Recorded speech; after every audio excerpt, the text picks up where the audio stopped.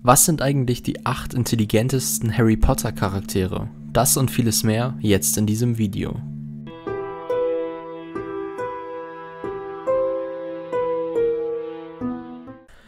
Im heutigen Video werden wir eine Rangliste erstellen. Auf dieser Rangliste werden wir die Intelligenz der einzelnen Charaktere bewerten.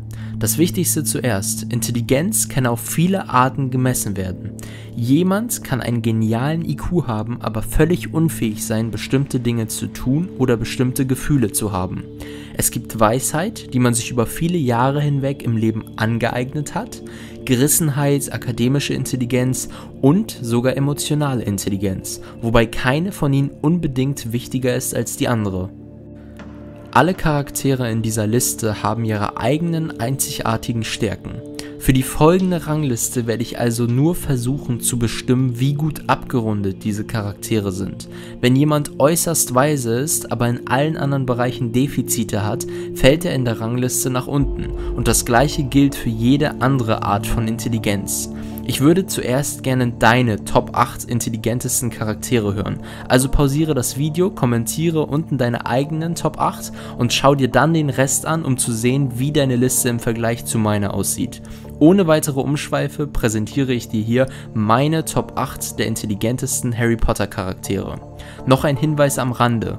Dieses Video basiert nicht auf fantastische Tierwesen, sondern nur auf den Harry Potter Büchern und Filmen. Fangen wir direkt an mit der Nummer 8 und dort haben wir Sirius Black. Sirius, der Patdonkel von Harry Potter und Mitglied der Familie Black, wurde 1971 in Hogwarts eingeschult. Während viele seiner Familienmitglieder einen unangemessenen Wert auf die Reinheit des Blutes legten, teilte Sirius diesen Glauben nicht. Er war sicherlich weiser als seine Jahre und seine Fähigkeit selbst zu denken, anstatt blindlings in die Fußstapfen seiner Familie zu treten, spricht für seinen Charakter und seinen Intellekt. Obwohl Sirius in der Schule herumgefuscht hat, war er dennoch außergewöhnlich gut. Und die Tatsache, dass er mit seiner Faulheit davonkam, zeigt uns, wie klug Sirius wirklich war. Man stelle sich vor, er hätte sich wirklich angestrengt. Leider wurde Sirius magische Entwicklung durch die lange Zeit, die er in Azkaban verbringen musste, etwas gebremst. Aber andererseits bedeutete sein hohes Maß an Intelligenz, dass er trotzdem ein sehr mächtiger Zauberer werden konnte.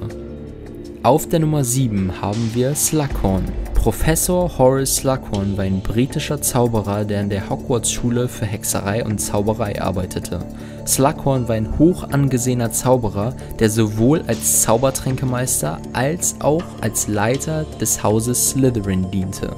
Er war ein brillanter Mann und vielleicht einer der talentiertesten Zaubertrankmeister seiner Zeit. Sein Nachteil war jedoch, dass er oft Leute übersah, die für ihn nicht von Wert waren, das heißt berühmt, außergewöhnlich, begabt oder irgendwie wichtig waren.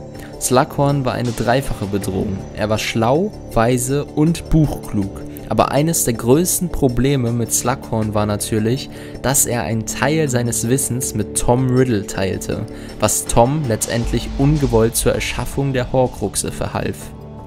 Auf der Nummer 6 haben wir Luna Lovegood. Luna Lovegood ist eine Art Überraschung hier, die du wahrscheinlich nicht erwartet hast. Aber Luna, deren Geist wirklich für vieles offen war, ließ nichts unversucht, wenn es darum ging, etwas Neues zu lernen. Und es ist diese Neugierde, die gerade ihren Platz auf der Liste rechtfertigt.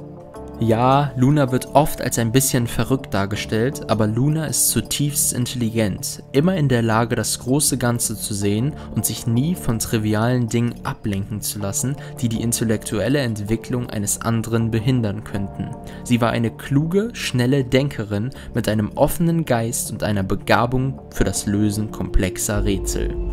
Auf der Nummer 5 haben wir Professor McGonagall, Minerva McGonagall ist eine schottische Halbbluthexe, die die Hogwarts-Schule für Hexerei und Zauberei besuchte und später dort arbeitete. Während ihrer Zeit in Hogwarts war sie die begabteste Schülerin ihres Jahrgangs und erzielte Bestnoten in einigen Fächern. Schon in jungen Jahren zeigte sie extreme magische Fähigkeiten und wurde später eine der besten Professorinnen in Hogwarts.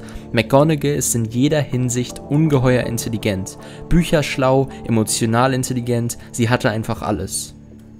Kommen wir zu Nummer 4 und auf der Nummer 4 haben wir Hermine Granger. Hermine Granger war eine der talentiertesten Hexen ihres Jahrgangs und der gesamten Schule. In der Tat war Hermine vielleicht eine der fleißigsten und klügsten Hexen, die je in Hogwarts zu Gast waren. Sie besuchte Hogwarts zur gleichen Zeit wie Harry und Ron und angesichts ihrer Vorliebe fürs Lernen und Wissen ist es nicht verwunderlich, dass sie eine begabte Hexe wurde.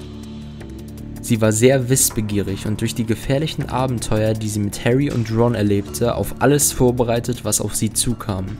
Sie war sehr vielseitig begabt, kompetent und eine schnelle Denkerin, fähig unter jeglichem Druck kritisch zu denken. Sie war nicht nur fleißig, sondern auch von Natur aus sehr intelligent. Die Dinge fielen ihr leicht und ihre wissbegierige Natur bedeutete nur, dass sie allen möglichen Informationen hortete. Hermines einziger Nachteil und vielleicht einer der Gründe, warum sie nicht ganz oben auf der Liste steht, war ihre Engstirnigkeit und ihre Unfähigkeit, die Dinge manchmal aus der Perspektive anderer zu sehen. Sie war fast zu schlau für ihr eigenes Wohl.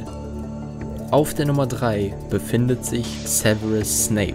Severus Snape wurde 1960 als Sohn eines Muggelvaters und einer Hexenmutter geboren. 1971 begann er zusammen mit Harrys Mutter Lily Potter und den Rumtreibern Hogwarts zu besuchen. Gleich zu Beginn ereilte Snape eine Tragödie, denn er wurde nach Slytherin einsortiert, während seine große Liebe Lily nach Gryffindor einsortiert wurde.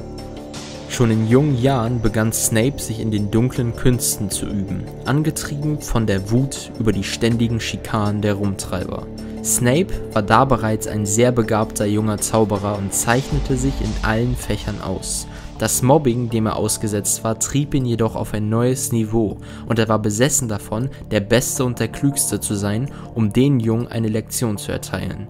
Während des Unterrichts in Hogwarts kritzelte Snape in seinem Notizbuch und erfand Flüche, Zaubersprüche und auch Tränke. Sein eigenes Lehrbuch für Zaubertränke mit seinen eigenen Kreationen unter dem Pseudonym der Halbblutprinz enthielt viele mächtige Zaubersprüche, die er selbst erfunden hatte, was keine leichte Aufgabe war. Snapes größte Stärke war seine Gerissenheit. Er konnte jeden überlisten und täuschen, wenn er wollte, und die Tatsache, dass er so lange den Doppelagenten spielen konnte, spricht nur dafür. Snape hat auch nach seinem Abschluss in Hogwarts nie aufgehört dazuzulernen und seine ständige Weiterentwicklung hat es ihm ermöglicht, einige äußerst beeindruckende magische Leistungen zu vollbringen. Auf der Nummer 2 befindet sich kein geringerer als Tom Marvolo Riddle. Voldemort ist zweifellos einer der mächtigsten, wenn nicht sogar der mächtigste Zauberer im gesamten Harry Potter-Universum. Der 1926 als Tom Marvolo Riddle geborene Voldemort besuchte ab 1938 Hogwarts und wurde in kein geringeres Haus als Slytherin eingeteilt. Schon in sehr jungen Jahren war klar, dass Tom etwas Besonderes war, ein magisches Wunderkind. Er war in der Lage, Magie ohne einen Zauberstab zu benutzen und zu kontrollieren. Er konnte Gegenstände Gegenstände mit seinem Geist bewegen und mit Tieren kommunizieren und sie sogar kontrollieren. Und das alles ohne jegliche magische Ausbildung. Er war ein Magiebegabter, der die Leistungen ausgebildeter Hexen und Zauberer ohne jegliche Vorkenntnisse in diesem Bereich übertraf.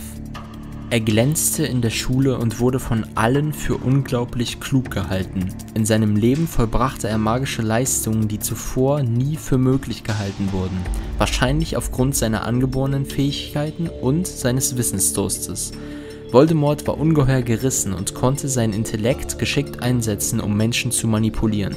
Der Grund, warum er sich nicht ganz oben auf der Liste befindet, ist jedoch, dass er manchmal ziemlich kurzsichtig sein konnte. Er war auch emotional äußerst unintelligent. Er war zu sehr damit beschäftigt, Macht zu erlangen, was ihn manchmal daran hinderte, höher zu steigen, als er hätte können.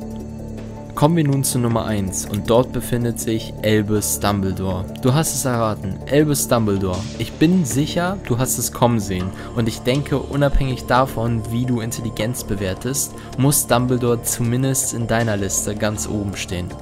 Er ist zweifellos einer der mächtigsten Zauberer, die je gelebt haben und es war von Anfang an klar, dass er Großes erreichen würde.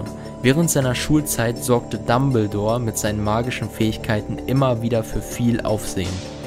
Griselda Marchbanks, eine Professorin, die für die Behörde für Zaubereiprüfungen arbeitet, bemerkte, dass Albus in der Lage war, Dinge mit einem Zauberstab zu tun, die sie noch nie vorher gesehen hatte. Dumbledore hatte einfach alles. Er war bemerkenswert weise, sehr klug, gerissen, taktisch und sogar gefühlsmäßig intelligent. Hier und da hat er etwas übersehen, aber mit so einem neugierigen und wissbegierigen Geist hatte er sicher eine Menge anderer Dinge zu tun. Das war's auch wieder mit diesem Video. Ich hoffe, es hat dir gefallen. Wie sieht deine Liste der top intelligentesten Charaktere aus Harry Potter aus? Lass es mich bitte gerne in den Kommentaren wissen.